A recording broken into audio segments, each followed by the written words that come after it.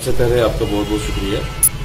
जहाँ तक डीडीसी का ताल्लुक है, अभी तक डीडीसी मेमरान को कोई भी प्रोटोकॉल नहीं दिया गया। ये आप भी जानते हैं, पूरे जम्मू कश्मीर की यूटी जानती है, लोग भी जानते हैं।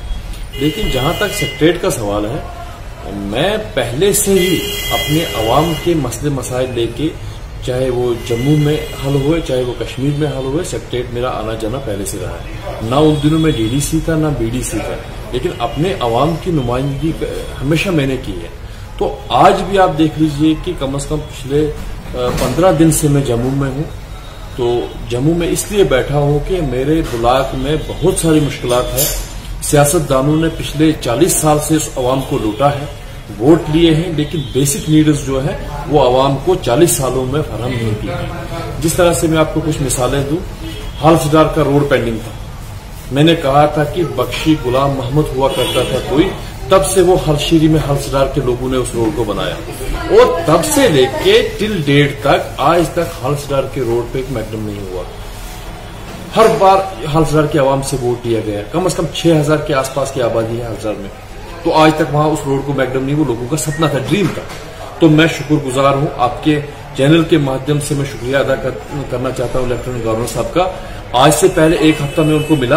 और पूरी डिटेल उनको मैंने बोली। हर्षदार की डिटेल नहीं बोली, अपने ब्लॉक में जहाँ जहाँ रोड की प्रॉब्लम थी, वो मैंने लेफ्टिनेंट गवर्नर साहब के सामने रखी। और फ़र्स्ट प्रायोरिटी पे आज आपने देखा होगा उसकी टेंडर नोटिस भी निकल गई। हर्षदार की आवाम को मैं मुबारकबाद देना चाहता हूँ कि आपके रोड का टेंडर भी निकल चुका है और फ़र्स्ट प्रायोरिटी पे हम जैसे ही जून के महीने में, मई के महीने में मौसम ठीक होगा और हर्षदार वालों को एक रोड अच्छा बना के देंगे। उसके साथ साथ सासकोड़ नगमनाड वालों की बात की हमने।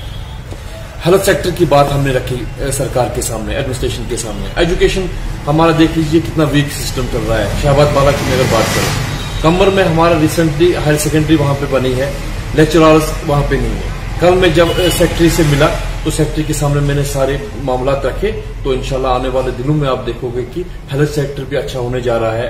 अच्छा रोड उसकी जहाँ तक बात है रोड भी बनेंगे इनशाला और जो भी उस इलाके की मुश्किल है जैसे बटपुरा छोन रोड है या ब्रिज की बात है, वो भी हमने सरकार के सामने रखी है धीरे धीरे करके ये सारे मसले जो है इनशाला मुझे उम्मीद है लेफ्टिनेंट गवर्नर साहब से और एडमिनिस्ट्रेशन से कि आने वाले वक्त में आप देखोगे एक एक करके सारे ये हल हो जाएँगे देखिए, ये आपने एक बहुत ही महत्वपूर्ण सवाल पूछा है, लोगों से जुड़े जुड़ा हुआ सवाल है ये। आप देख लीजिए कि पचास हज़ार, तीस हज़ार लोगों को बैंक की फैसिलिटीज़ नहीं तो हमारे सियासतदानों को शर्म आनी चाहिए जिन सियासतदानों ने 30 साल 40 साल लोगों को लूटा और वोट लिया।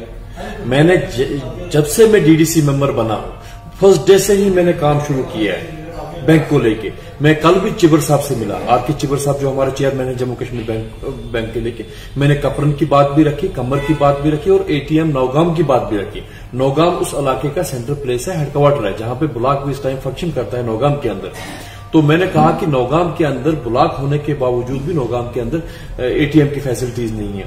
जम्मू कश्मीर बैंक ब्रांच जो हमारा कपड़न है, अभी तक लोग एक सपना देख रहे हैं लोग। अभी तक वो पूरा नहीं हो रहा है। तो चेयरमैन साहब ने मुझे पूरा यकीन दिलाया। इंशाल्लाह ज़्यादा से ज़्यादा मुझे लगता है कि एक महीना 25 दिन के आसपास आप देखोगे बैंक भी फ़ंक्शन करेगा और नौगाम के अंदर एटीएम भी फ़ंक्शन करेगा। देखिए, सबसे पहले जो जो आपने बात की है फॉरेस्ट राइट एक्ट जो 2006 में बना था लेकिन तब की सरकार ने यहाँ पे इसको इम्प्लीमेंट नहीं होने दिया।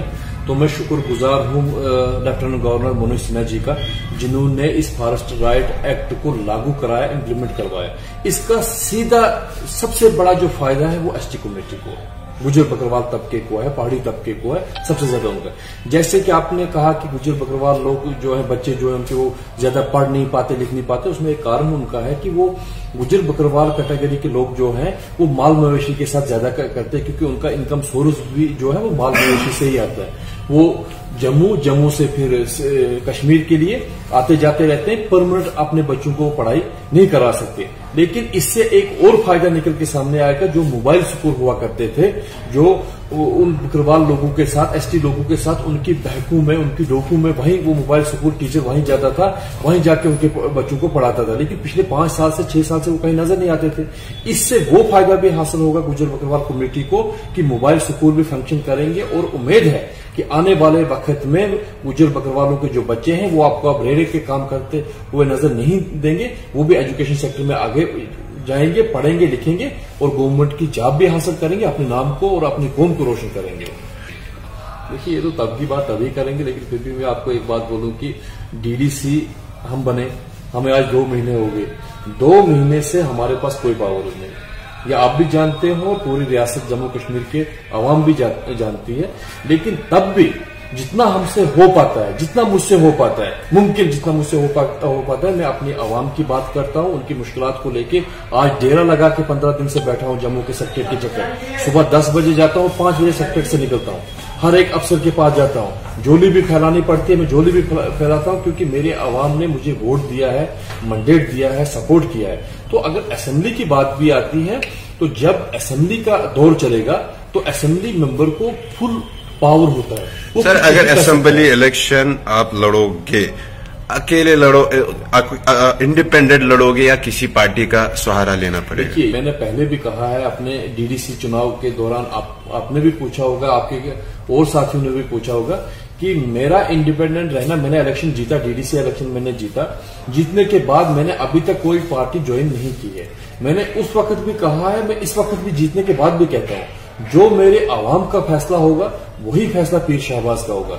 कल अगर मेरी आवाम फैसला ये करती है कि पीर शहबाज को किसी पार्टी के साथ ज्वाइन करना है तो उस पार्टी के मंडेट के ऊपर इलेक्शन लड़ना है असेंबली इलेक्शन लड़ना है तो मैं तैयार हूँ। अगर मेरी आवाम कहती है कि आप इंडिपेंडेंट असेंबली इलेक्शन लड़ो तो मैं इंडिपेंडेंट भी लड़ने के लिए तैयार हूँ। जो मेरी आवाम का फैसला होगा, वही मेरा फैसला है नहीं, देखिए, ये एक दौर होता है। हर एक का एक दौर होता है। मीर साहब का भी दौर था 2002 से लेकर लेके 2014 तक। आपने देखा होगा, हमने गाँव गाँव गली गली मेहनत की, कांग्रेस पार्टी को घर घर पहुँचाया। कोई जानता नहीं था, आपको पता होगा कि वैली के अंदर अगर देखें तो हमारा एक फारफरंग एरिया है, पहाड़ी एरिया है।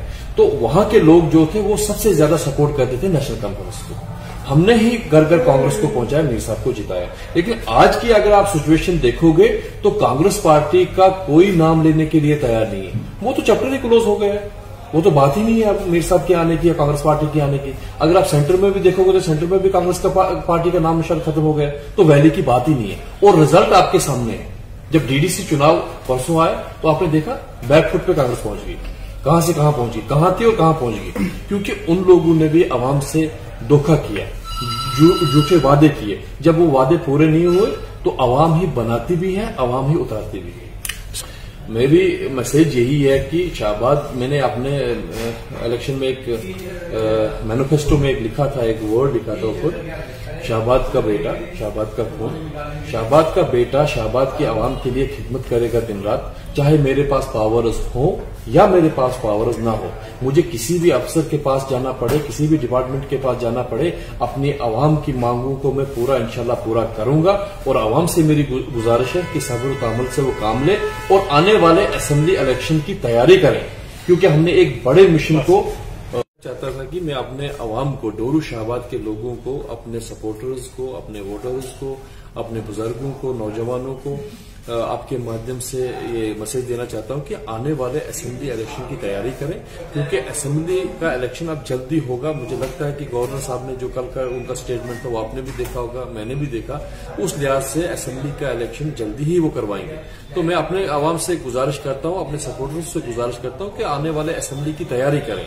इसलिए तैयारी करें कि एक बहुत ही असेंबली मेंबर के पास एक पावर्स होता है, एक डिसीज़न वो ले सकता है। तो उसके लिए हमने इलाके की खिदमत करनी है, अपने नौजवानों की खिदमत करनी है, वो तैयारी कर लें, इंशाल्लाह आने वाले असेंबली इलेक्शन में